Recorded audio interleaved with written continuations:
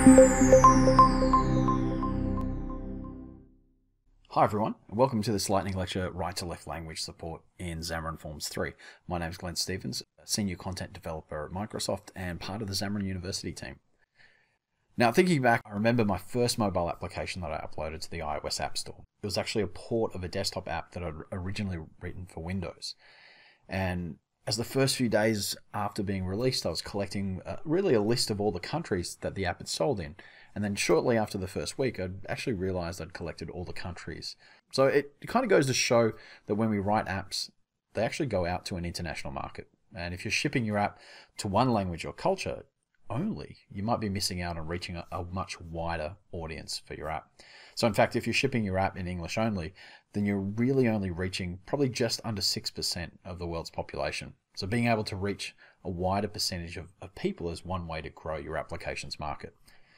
Now, in order to internationalize your app, there's actually a number of things you'd need to do. So first, you'd need to translate the text for your app. You'd also need to design your app's user interface to cover different sizes for text. So for example, when translating to German, the words tend to get longer on average. And lastly, you also need to manage your user interface so you can support right to left languages like Arabic or Hebrew. It's this new support in Xamarin Forms 3 for right to left languages that we're going to be looking at today.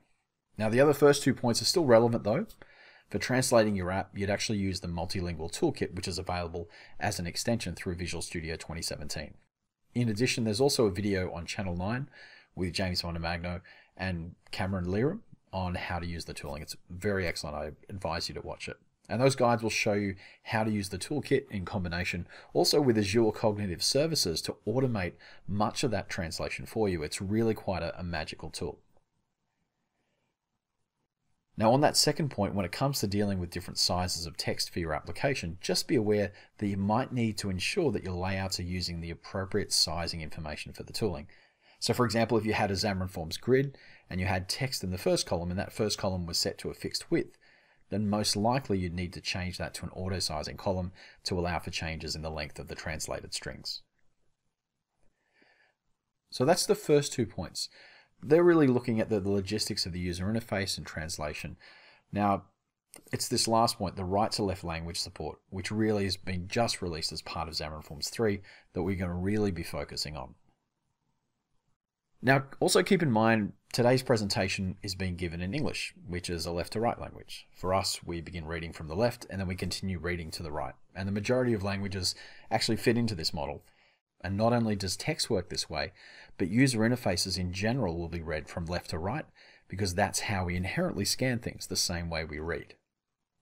Now in a similar way, if you were in a right to left country, then you'd read your text starting from the right and then read to the left. And because this is the way your brain scans, user interfaces will tend to scan the same way too. So let's take a, a very simple user interface, which is a Xamarin Forms grid just doing some data collection. I've got two columns and I've also got a number of rows just to indicate some data that I'm collecting and maybe a submit button down the bottom. So you can see here we're collecting the, the name, we're collecting the email and also the, the phone. Now in addition you might be wondering what's this markup extension I've got here, the localize. Well this is actually uh, just my slight modification on this great plugin that you can get. You can see this one here. There's a plugin actually translate extension. It's from a, a Microsoft MVP, Charlin Agramonte, and she does some amazing work in the local community. Also develops these great little components, and I love it. It's a, a real way to get access to your resources used for translation. So I'll provide the link on the screen. I encourage you to to check it out. I, I tend to actually just modify mine slightly, just so I can use the ISE, just so I can use the ISE or IZE depending on how you spell it. And that way I can just conveniently introduce this XML namespace for local. And then when I want to translate, I can just write localized. I think that's pretty easy to remember. So I've got my name, my email, and my phone label, phone label. And this is coming from my resources that I've got specified in the application. So certainly have a look at that video with James Montemagno. There's some great resources in there on how to automate a lot of this translation. You can see I've got English and I've got Arabic being displayed here. So that looks at the certainly at the text, but what we need to do is look at the direction of the language as well. In Xamarin Forms 3, we can change the language direction by setting a property called flow direction. And if I look at, at this component here, all the visual controls have a property called flow direction that can be set to one of three values. We have left to right, and that means the content flows from left to right. We've got right to left, meaning the content flows from right to left.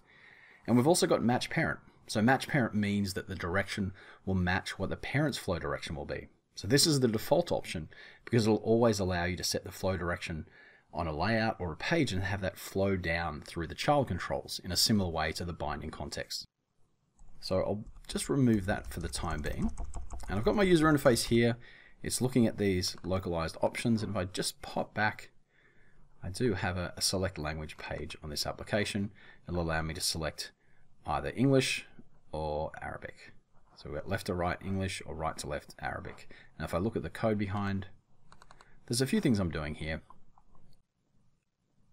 In effect, what I'm doing is I'm setting the page when I'm showing a language, I'm passing in the language and whether I should show it right to left. In this case here, I'm setting the flow direction to either right to left or left to right for that entire page. So that'll flow down to all the controls, such as the, the grid in my particular case. And let's actually go ahead and run this. I'm going to run this on Android first. I'll just set that as the startup project. And we'll be able to see this running very shortly. We'll just wait for it to start up.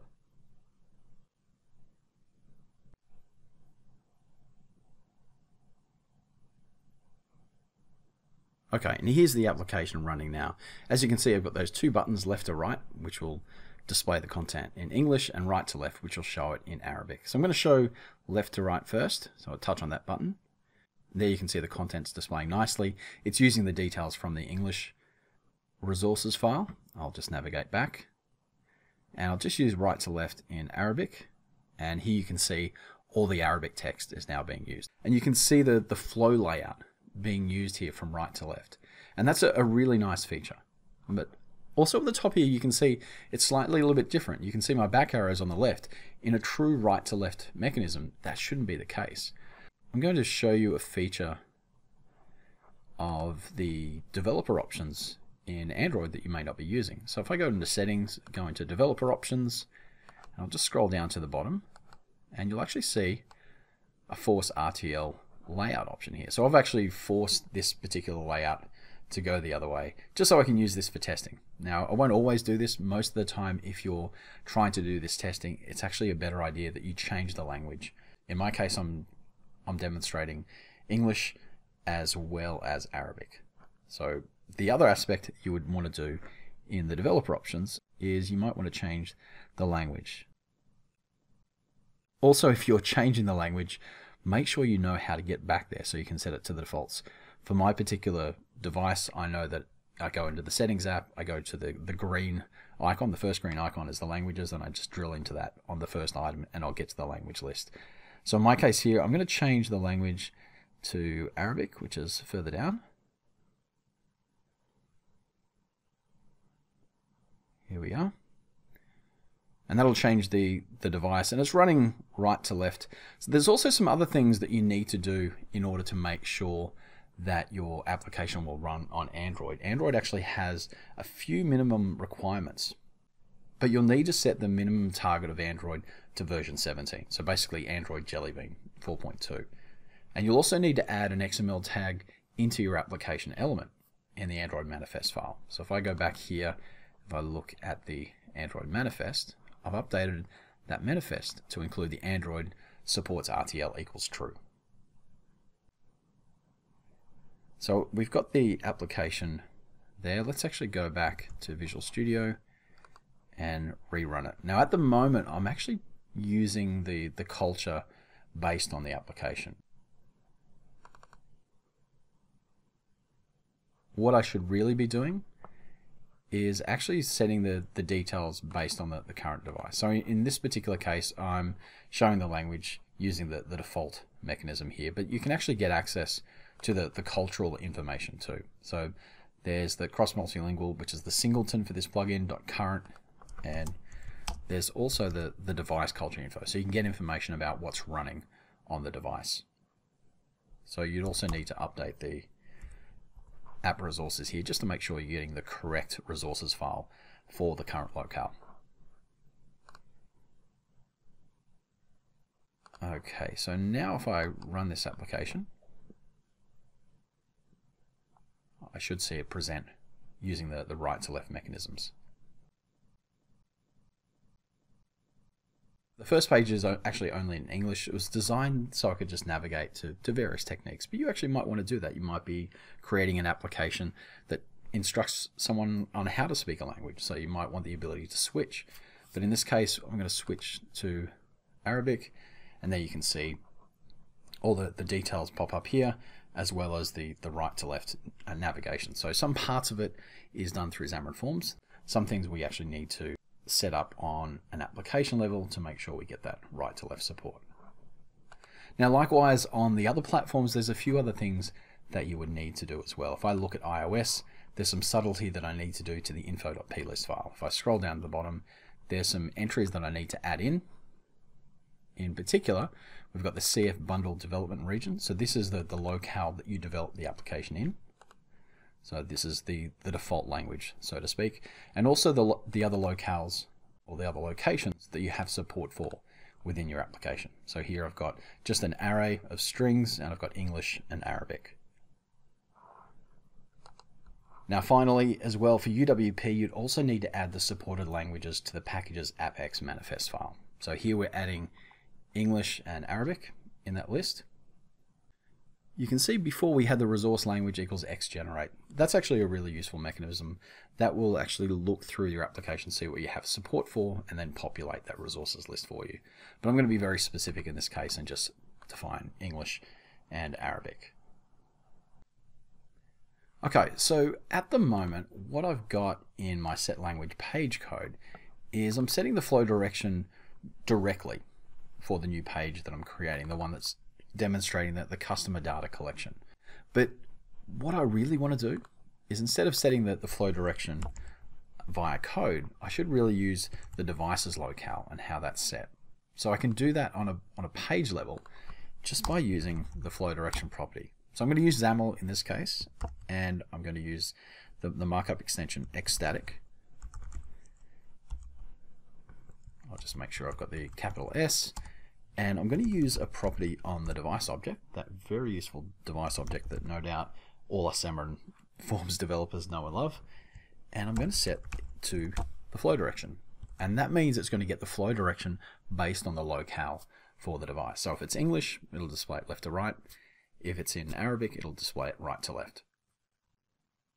So there you have it, another super exciting feature that we have in Xamarin Forms 3.0. There's lots of great stuff. This is just one of the many lightning lectures in the, the Xamarin Forms 3 launch series. So hopefully spend some time, look at some of the other great features that we have there, and I hope to see you on some of the, the Xamarin University classes. Take care.